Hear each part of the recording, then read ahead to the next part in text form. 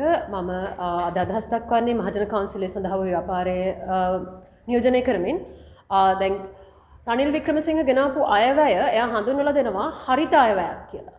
හරිත සමාජයක් හරිත ආර්ථිකයක් බිහි කරන්න තියෙන ඒ වගේ අරමුණකින් ගෙනාපු අයවැයක් කියලා හඳුන්වලා දෙනවා.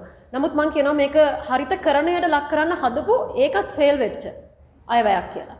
මොකද මේ අයවැද්‍ය හොඳට බැලුවොත් එහෙම මේ මහා පරිමාණ ඉඩම් මංකොල්ලයක් කරන්න පෙළ ගැහිමක් සූදානමක් ඉතා පැහැදිලිව පේනවා.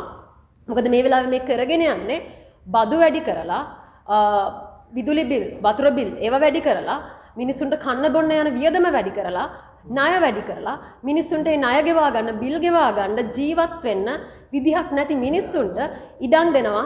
ඔන්න විකුණගෙන කාපල්ල කියලා.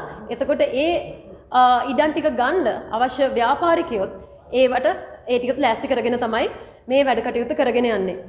මොකද දෙදස් දාහතේ ඇතිවෙච්ච ලෝක ඇතිවෙච්ච ආහාර අර්බුදයක්ත් එක්ක ඒ වගේ ඉස්සරහට දේශය ගොලි දේශකනික විපාරයාසත් එක්ක.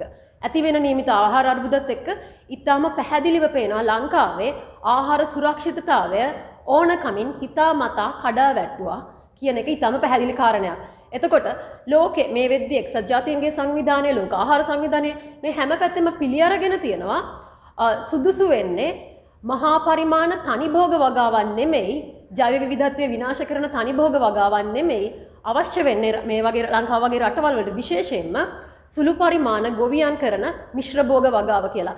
නමුත් මේ අයවැය හරහා පැහැදිලිව කියනවා ප්ලෑන් එක තියෙන්නේ ලංකාවට අවශ්‍ය ලංකාවේ ජනතාවට අවශ්‍ය ආහාර නිෂ්පාදනය කරන්න නෙමෙයි මහා පරිමාණ සමාගම්වලට අවශ්‍ය ඒගොල්ලන්ගේ ඒගොල්ලන්ගේ ඉල්ලීම් ඒගොල්ලන්ට අවශ්‍ය ඉල්ලුම සපුරන්න අවශ්‍ය ආහාර නිෂ්පාදනයක් තමයි ඉස්සරහට කරන්න යන්න කියලා.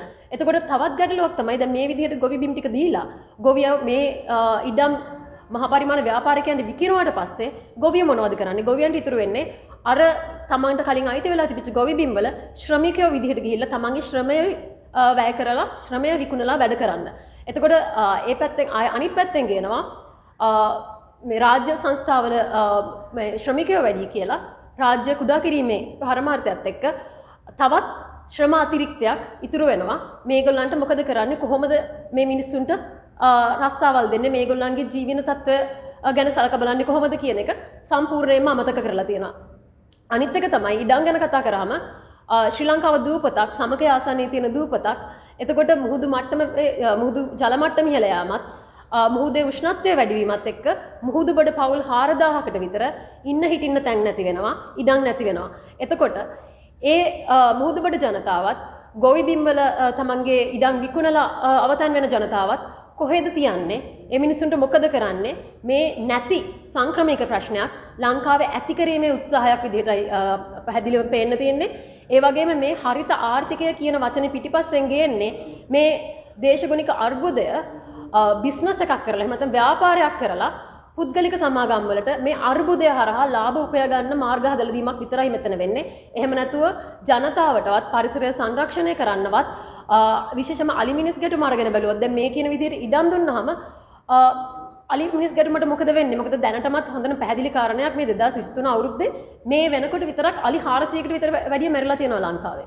එතකොට මේ ගැටලුවට විසඳුම් හොයන්න නම් කරන්න ඕනේ ඉඩම් කළමනාකරණය මිසක් ඉඩම් මංකොල්ල කන්නවත් ඉඩම් මංකොල්ල කන්න හදන එකවත් තව ඉඩම් කොල්ල කොල්ල කන්න පෞද්ගලික සමාගම්වලට ඉඩ හදන එකවත් නෙමෙයි වෙන්න ඕනේ. එතකොට මේකට හරිතායවක් කියලා කිසිසෙත්ම කියන්න බෑ. මොකද මේ හරහා ලංකාවේ අලිමිනිස් ගැටුමට අනිවාර්යයෙන්ම තවත් බරපතල තත්වයකට පත් වෙනවා.